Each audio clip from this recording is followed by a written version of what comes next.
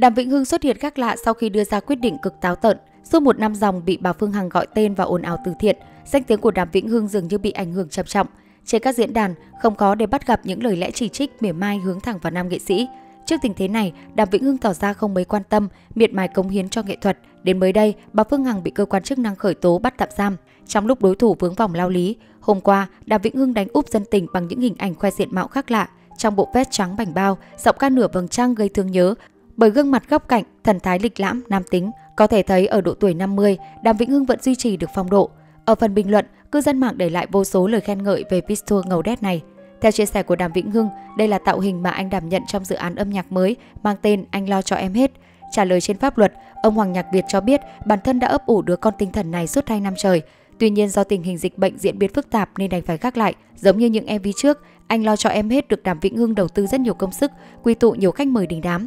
Việc cho ra mắt đứa con tinh thần sau ồn ào từ thiện rúng động được đánh giá là quyết định táo bạo. Tuy nhiên, phía Đàm Vĩnh Hưng vẫn bình tĩnh. Anh khẳng định luôn dành góc riêng cho âm nhạc, sẵn sàng trở lại hoành tráng, xứng đáng với tình yêu và sự ủng hộ của khán giả.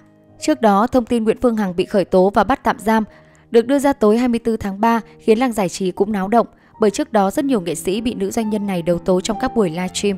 Sau khi biết tin bà chủ Đại Nam bị khởi tố bắt tạm giam, Đàm Vĩnh Hưng bày tỏ sự vui mừng bằng dòng trạng thái đầy ẩn ý. Toàn là tin nhắn yêu cầu bài hát Đất nước chọn niềm vui tại Đồng Giao tối nay, chưa tới 30 tháng 4 mà ta. Phận làm ca sĩ, sao dám mặc áo qua khỏi đầu, nhất là đối với cả hàng triệu triệu ông bà chủ đã trả lương cho Hương suốt 24 năm qua.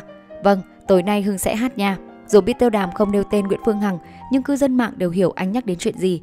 Bạn thân của anh là ca sĩ Vũ Hà cũng chia sẻ trên trang cá nhân, tiệc nhẹ, mừng, mời gấp quá không kịp trang điểm gì cả. Đàm Vĩnh Hưng cũng là người bị Phương Hằng đấu tố nhiều trên mạng xã hội.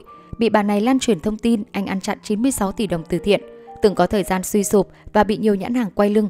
Mr. Đàm cũng đã làm đơn tố cáo nữ doanh nhân này. Vì anh là nghệ sĩ lời qua tiếng lại với Nguyễn Phương Hằng nhiều nhất trên mạng xã hội và cũng là một trong những người bị bà này xiết sói, xúc phạm nặng nề nhất.